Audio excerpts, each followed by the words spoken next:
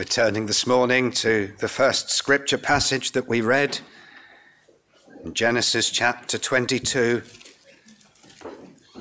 And I'll read verse 14. Genesis chapter 22 and verse 14.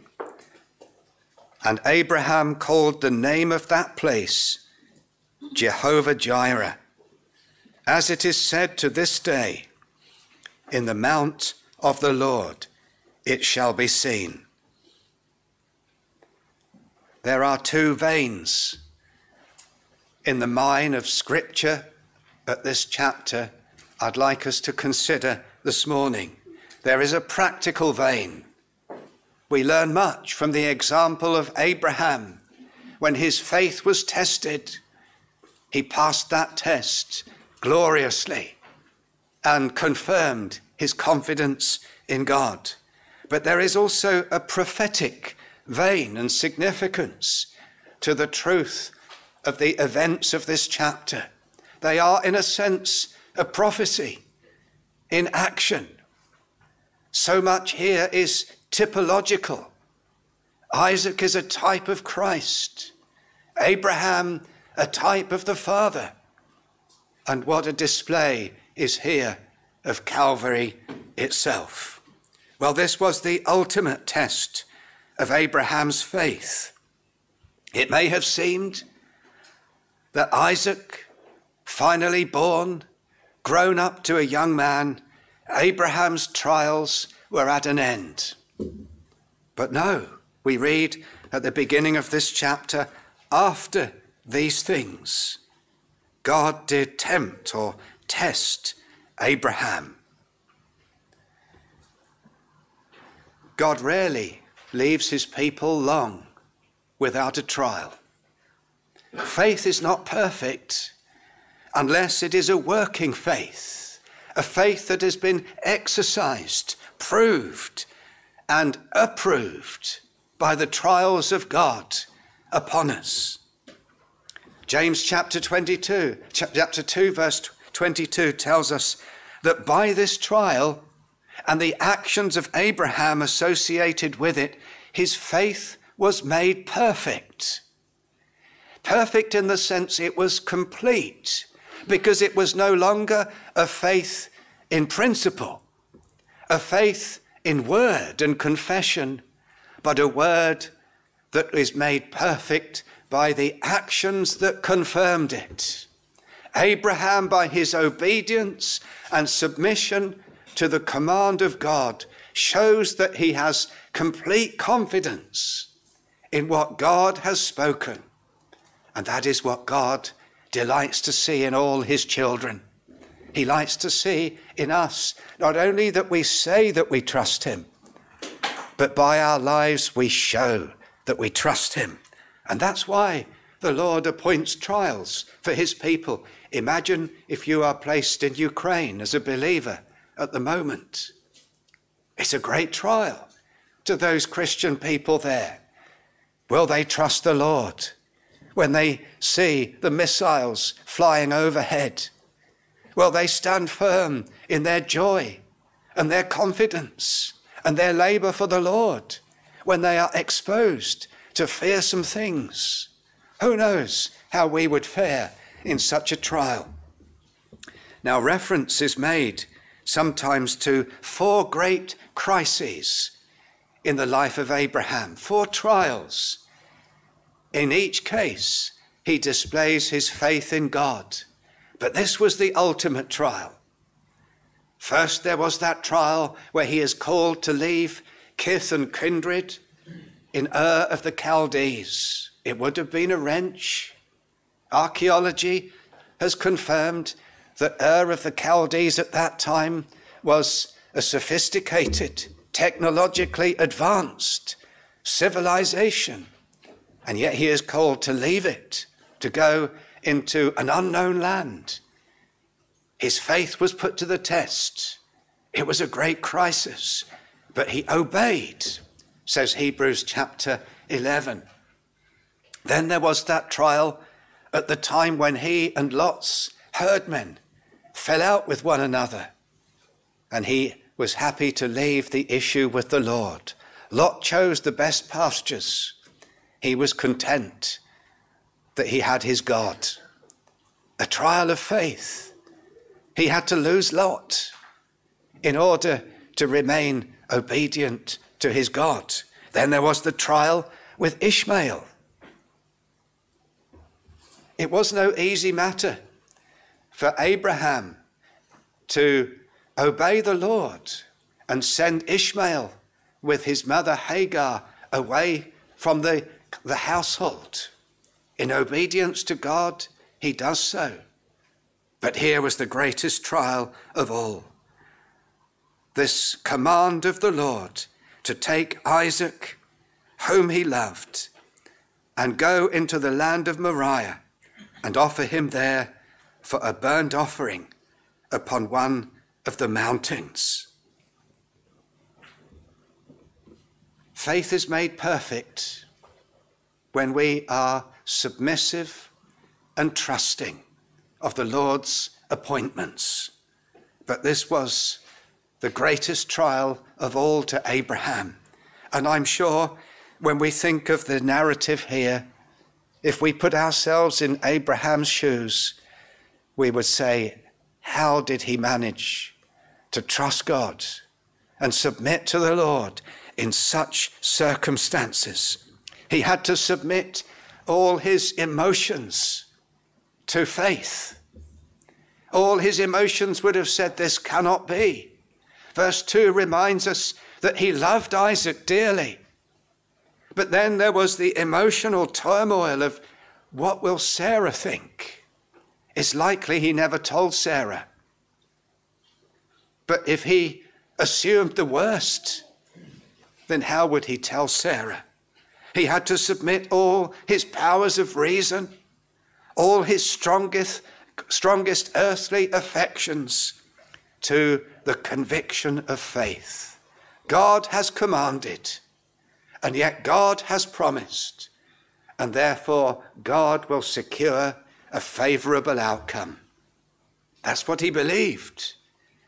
But reason couldn't trace the, the, the way in which God would both keep his promise that Abraham, uh, that Isaac, sorry, would be the one son in whom all the promises of God would be fulfilled. And yet at the same time, he was called to sacrifice him at Moriah. Well, the final outcome shows that God did not desire, desire the death of Isaac, but he desired Abraham's complete surrender and willingness to offer him to God. No other way could that test fully be, uh, uh, Uh, no other test could fully expose Abraham's complete surrender and trust in God. He had to cause Abraham to bring his reason into complete captivity to faith. The most remarkable trial of faith recorded in the whole of Scripture. It was against his affections. It was real, realistically against the moral revelation of God, who had declared after the flood, He who sheds man's blood, I will require it of his hand. How could Abraham lay straight in his mind that moral revelation which he knew with this command which he believed had come from the Almighty. There was no doubt in his mind that it was God who had given this instruction. It could potentially send Sarah to an early grave. It would potentially ruin his testimony as a man of God amongst the Canaanites. It seemed to be against all the promises of God which he had been assured rested upon Isaac. And yet, even though Abraham could not fathom and lay straight in his powers of reason these commands, he had to believe and trust in God. He's an example to us, friends. There are many times when in life, reason says, I cannot see how this is good for me. I cannot see how God is in control of my situation. I cannot see how this is right. Satan will whisper in our ear, God is cruel, God is unkind. Be assured, that same thought was whispered in Abraham's ear. I'm sure it was. But Abraham, our great father in the faith, says we trust God. Job was similar. Remember how Job said, Though he slay me, yet will I trust in him. We trust God, whatever outward appearances seem to suggest to the contrary.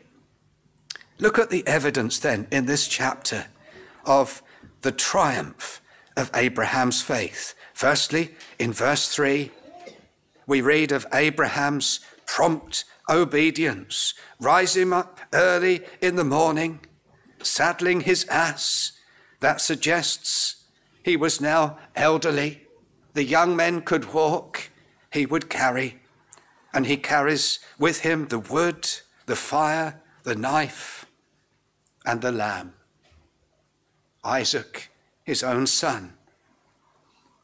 It would have been a painful journey, three days in the heat of the land, and yet he perseveres. Reason couldn't fathom the command.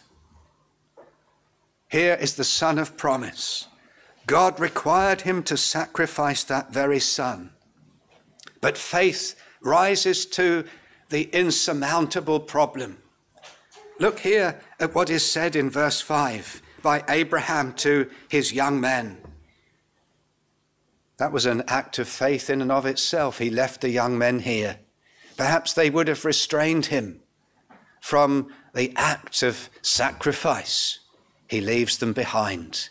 But notice what he says here I and the lad will go yonder and worship and come again to you. We will come again. That's the language here. We are going to worship. We are coming again. And Hebrews chapter 11, we must turn to this because it gives to us an insight into the faith of Abraham at this point.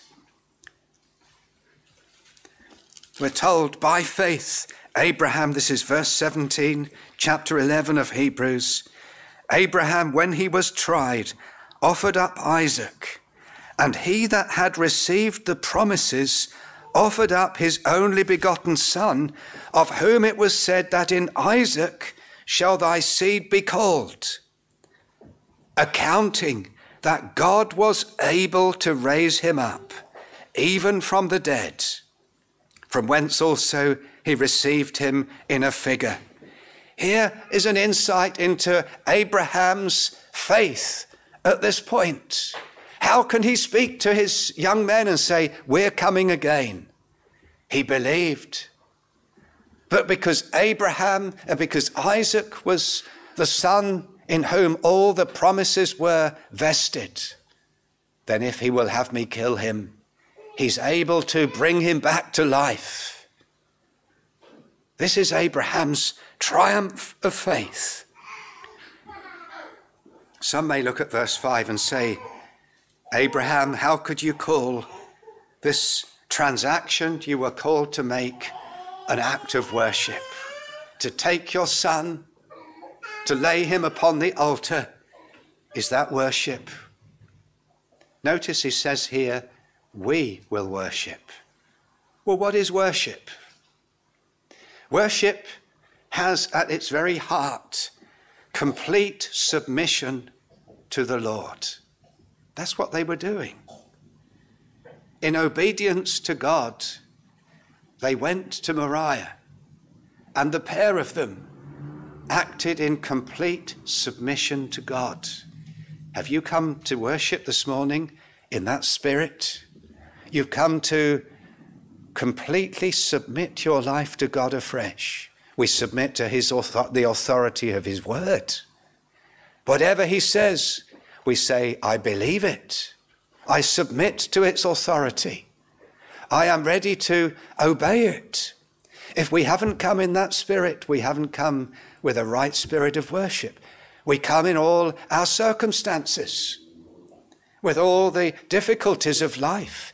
Worship is such a liberating exercise because we submit our lives week by week to the Lord. We say, Here am I, Lord, with all my circumstances, with all my troubles, with all my uncertainties, but I submit myself to Thee afresh. And here are Isaac and Abraham exercising true worship. The word worship here, it means to bow, to bow before the Lord. Have you and I done that this morning? Well, here is an example of complete surrender and submission of himself to God, but not simply Abraham. Isaac here is an example of complete submission to God. We do not know at which point Abraham finally revealed to Isaac that he was the sacrifice. But Isaac, although he is referred to here as a lad, he was a young man. There are many young men amongst us here.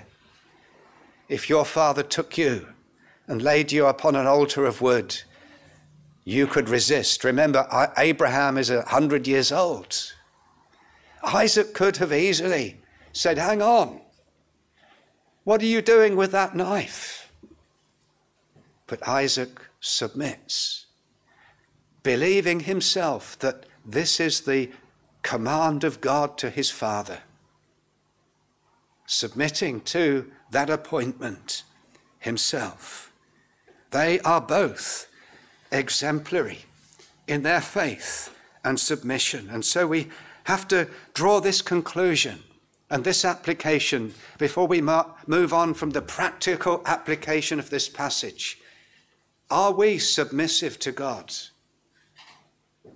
Do we surrender our lives to Him as we should?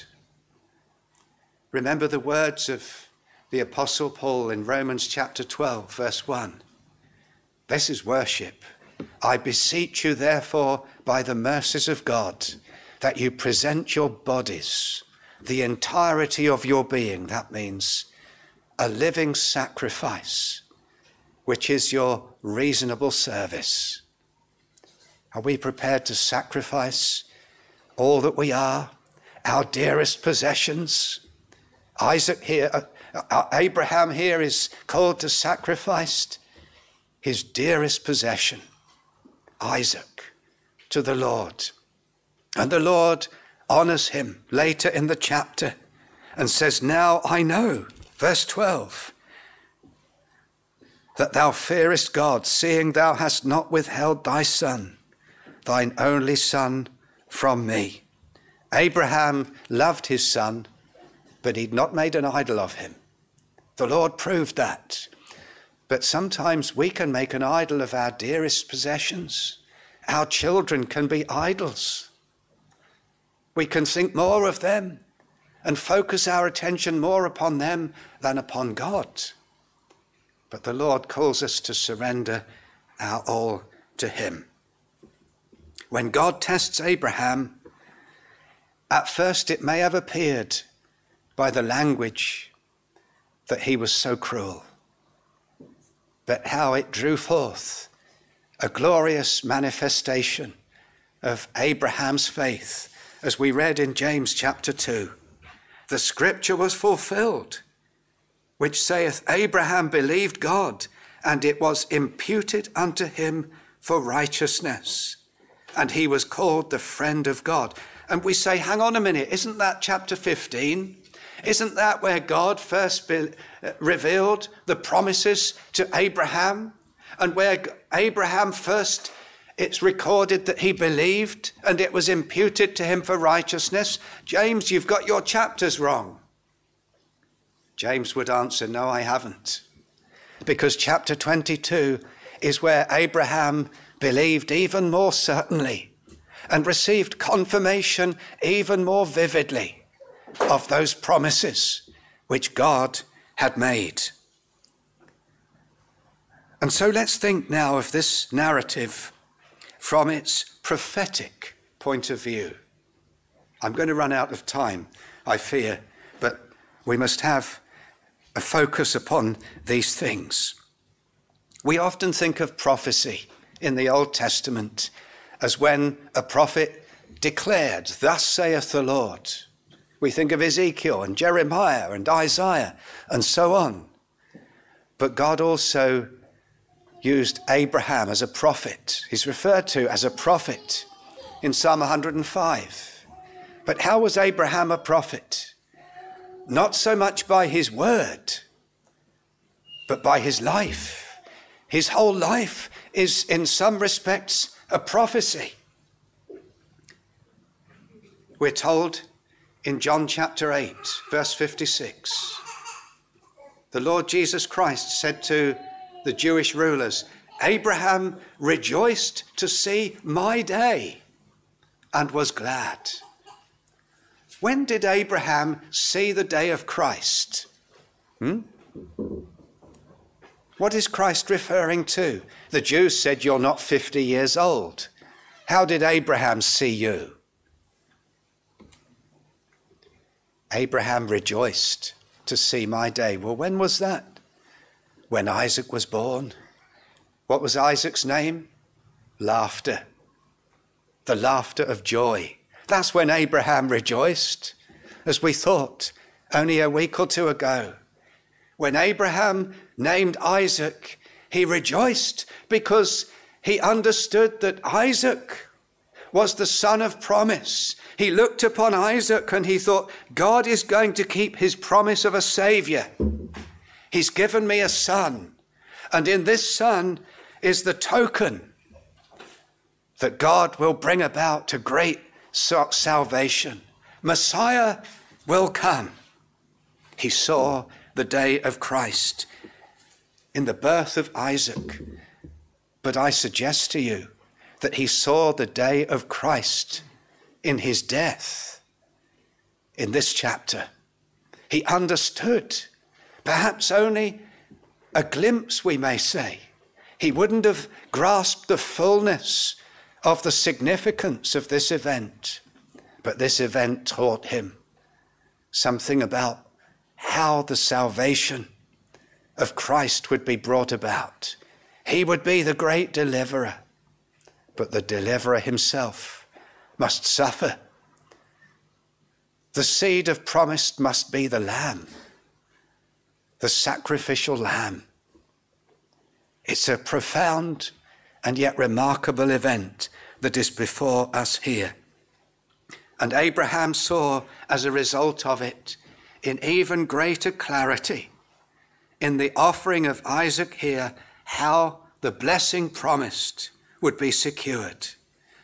The son of promise sacrificed himself. You see, Isaac is what we call a type of Christ.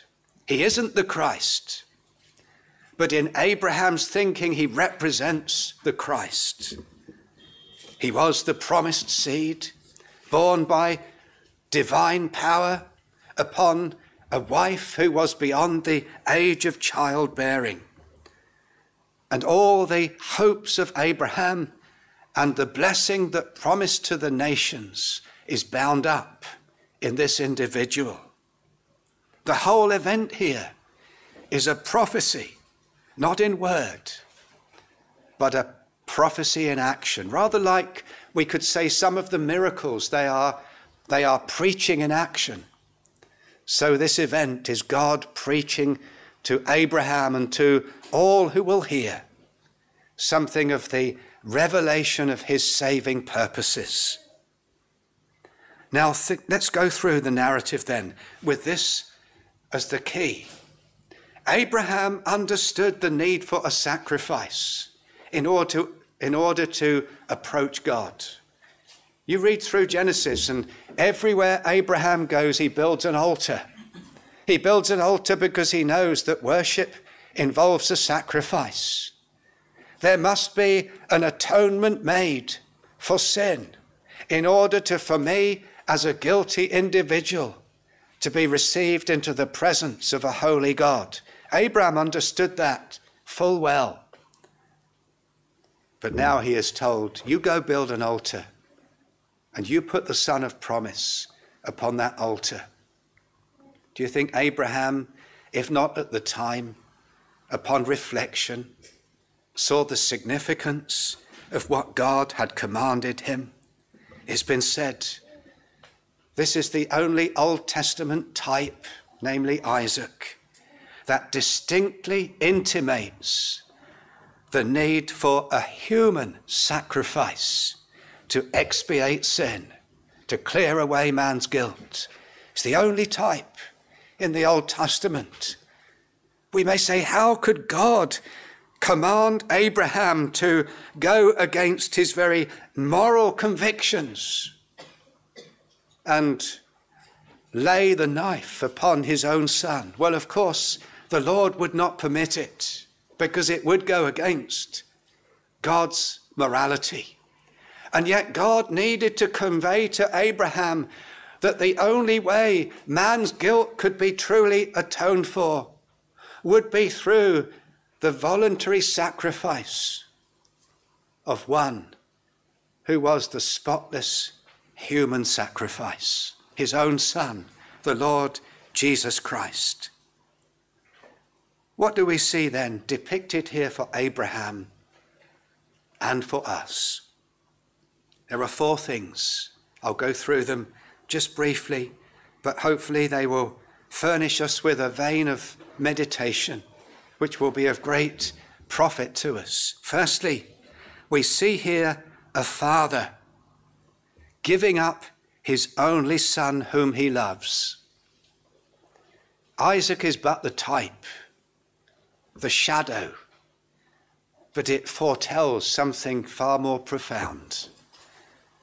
Did you know that this is the first time in the whole of the Bible where the word love is used? Not the love of a husband to a wife, not the love of God to human beings, the love of a father to his son. Take thy son, thine only son, whom thou lovest. Abraham here enters in some degree into the cost to God Himself of giving up His Son in order to redeem His people. Perhaps we cannot fully appreciate the love of God. We can so easily read those verses in John 3 God so loved the world that He gave. Enter into Abraham's experience here and then we can perhaps say, yes, and in a far more profound way, that's what God has done for me. He's given up his only begotten Son, whom he loves. How solemn then if we reject the Christ. We're rejecting God who gave his highest and most beloved possession in order to pay the price of sin. When we say in our rebellion, I will not have this Savior, I will reject this tender of redemption, then we are in effect rejecting the love of God displayed to us in, in giving up his own Son. Did you know in the New Testament, the first time love is mentioned in Matthew, it refers to the love of God the Father to his Son. Did you know the same time in Mark? It's the love of the Father to his Son. This is my beloved Son, in whom I am well pleased. It's the same in Luke. Three times, by three separate gospel witnesses in the New Testament, the first declaration and use of love is the Father in heaven to the Son. But then in John's Gospel, which refers to love more than all the other Gospels, the first reference to the love to love is the love of God in giving that Son whom He loved for us. Amazing grace, amazing thought that God should give His Son to die for me. Secondly, we see here a glimpse, and Abraham, I believe, saw this the Son of promise in whom all the hopes of every true child of God rests, appointed unto death by God. Abraham saw here that atonement could never be through the blood of a lamb, it would take the blood of the Son, the promised Son, the seed. He must die. Do you understand that? No animal sacrifice could remove my guilt and yours. Only the precious blood of Christ. You are redeemed, says Peter, not with the blood of bulls and goats, but with the precious blood of Christ. Thirdly, we see here a glimpse of death and resurrection. How can it be that Isaac, the appointed son in whom the promises will be secured, is to die? It must be that he rose again, or he will rise again. Did you notice when we read Hebrews chapter 11? There's a strange phrase at the end of verse 19 where the apostle says, even accounting that God was able to raise him up, even from the dead, from whence also he, that is Abram, received Isaac in a figure, in a parable. The apostle is saying here that as far as Abraham was concerned, this event was a parable. Abraham had, was prepared to go through with this sacrifice, was he not? God accepted that he was. And so, in Abraham's mind, Isaac was already dead. God has willed it. I must perform it. The knife will be thrust in. Isaac is already dead, but he receives him back again. And so when he returns to his young men and then goes to Sarah, he now has a son of promise who was once dead, who is alive again. In parabolic terms, says the writer to the Hebrews. So Abraham here, he understands the son in whom God has given all those promises of salvation. He's died and he's risen again. Do you remember when Christ appeared to his disciples after he's risen from the dead himself? Hebrews, sorry, Luke chapter 24. Remember, he gathers the disciples before he ascends back to his Father, and he says to them this, these words These are the words which I spoke unto you while I was yet with you, that all things must be fulfilled which were written in the law of Moses. That's Genesis. And in the prophets and in the Psalms concerning me. Then opened he their understanding that they might understand the scriptures. And he said unto them, Thus it is written, and thus it behoved Christ to suffer and to rise from the dead the third day. I don't know if there's any significance in that three days journey. But you see, there were three days in which, for Abraham, Isaac was a dead son. He was as good as dead. But on the third day, Abraham receives him back to life. Christ is saying here, look, go read your Old Testament. Go read Genesis, and you will see that even there, at the very inauguration of Revelation, Christ is being revealed as the suffering Saviour who will triumph over death, rise again. But lastly, we must move to conclusion. We read here that the Lord, when he intervened, Abraham saw a ram caught in a thicket. In verse 8, in answer to Isaac's question, Abraham had said, My son, God will provide himself a lamb for a burnt offering. He spoke better than he knew, I believe, at the time. But when he reflected, he thought, Yes, what I hoped and believed is now true. God will provide himself. He understands the concept of substitution. Someone must die. Isaac is a sinner. Ultimately, though he's the son of promise, he cannot die. But God will provide for himself a suitable lamb. That would be Christ, the spotless Son of the highest.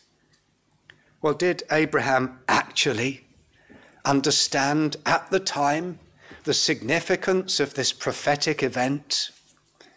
Perhaps not in every detail, but he certainly had a good handle upon it, because that's what our text is telling us. You may say, Pastor, why did you read verse 14 as a text?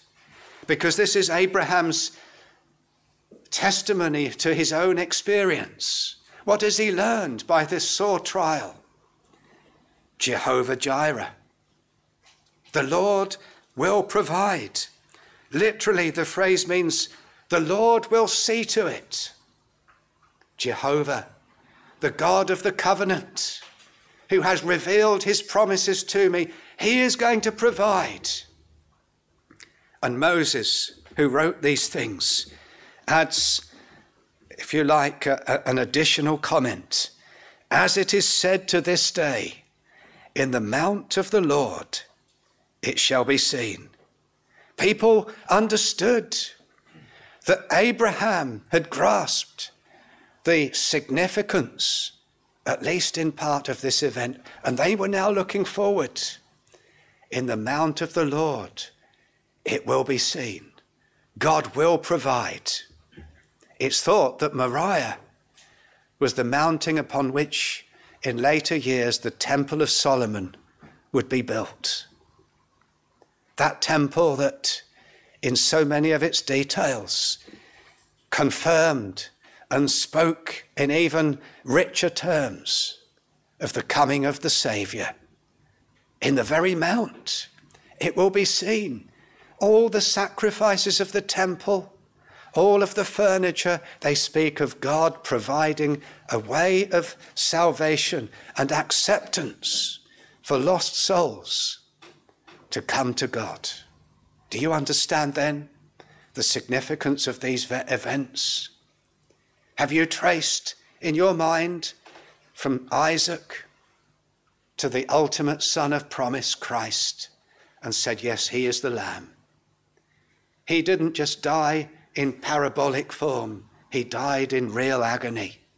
He died that through him I might have life and forgiveness and peace with God.